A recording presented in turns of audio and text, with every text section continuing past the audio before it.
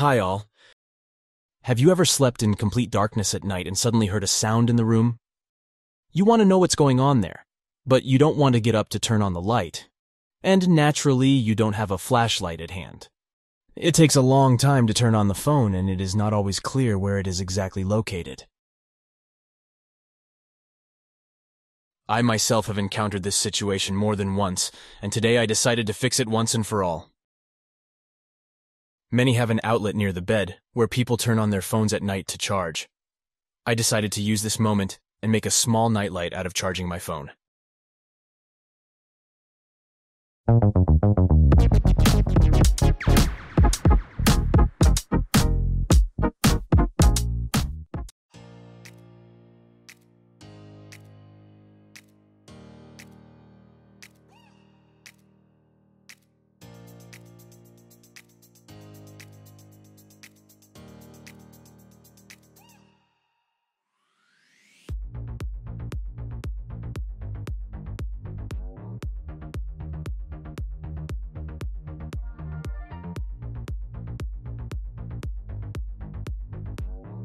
The scheme looks like this, only three diodes. We apply 5 volts to them through the button. At this voltage, the LEDs will work perfectly and shine brightly, but they burn out quickly. To lower the voltage, I added two diodes to the circuit. Both diodes are marked 1N4007. The assembled circuit looks like this. There's nothing complicated. When I press the button, the LED lights up.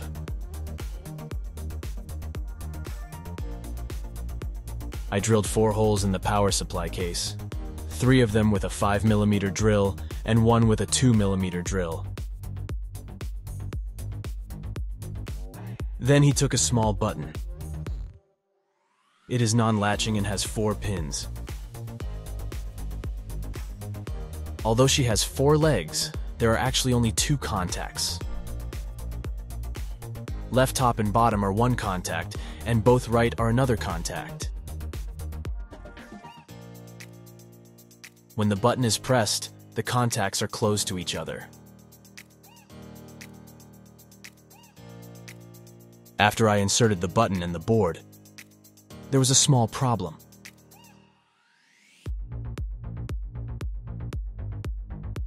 The board did not want to stand in its native place.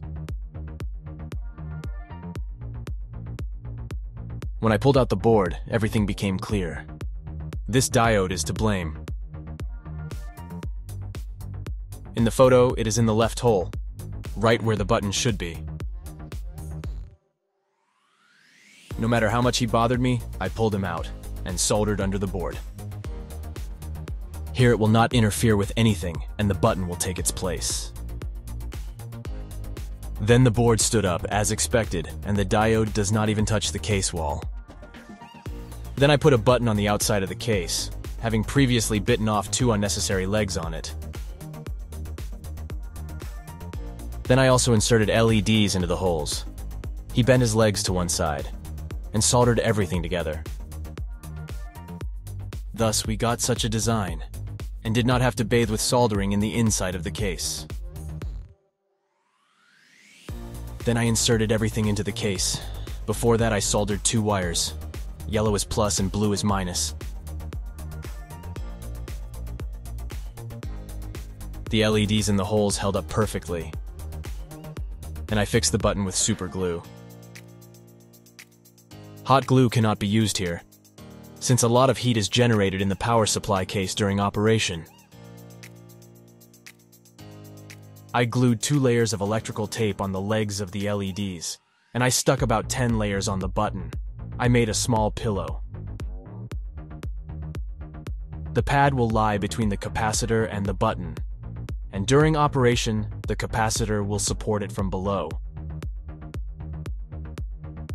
Diodes 1N4007 I soldered to the plus, and to them a yellow wire coming from the button.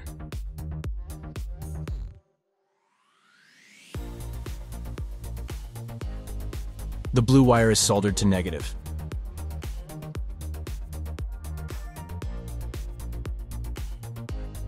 Then I insert the board into the power supply case, and carefully, with the help of tweezers, I lay the wires.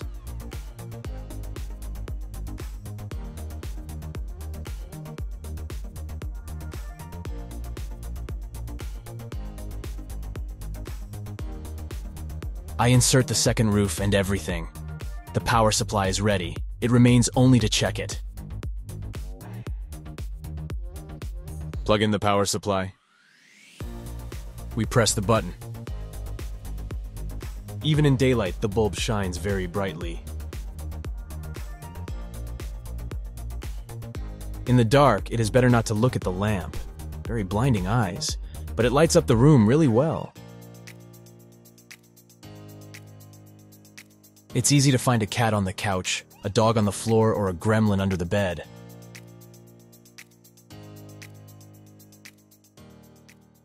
Here is such a simple nightlight turned out from a regular phone charger. I'm sure there will be people who will find it very useful.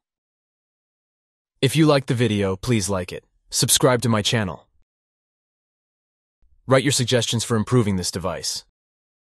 And bye everyone.